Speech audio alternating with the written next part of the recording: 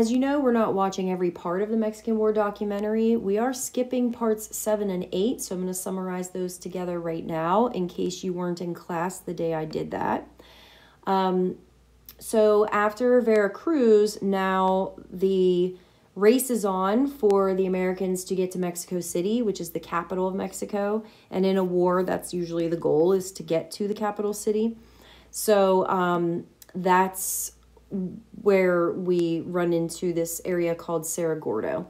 Santa Anna had left a hill exposed, and the Americans are going to take advantage of that. The Mexican army ends up having to retreat to Mexico City. The U.S. tells Mexico to sell their northern territory, so they give them yet another chance to get out of this.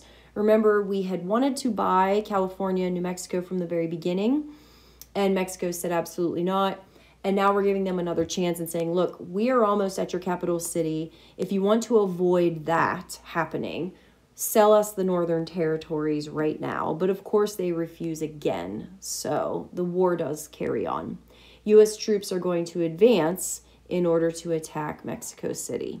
That takes us to part eight, which we are also skipping, but this is like the last final push before they get to Mexico City. And you can see the city in the background in this picture.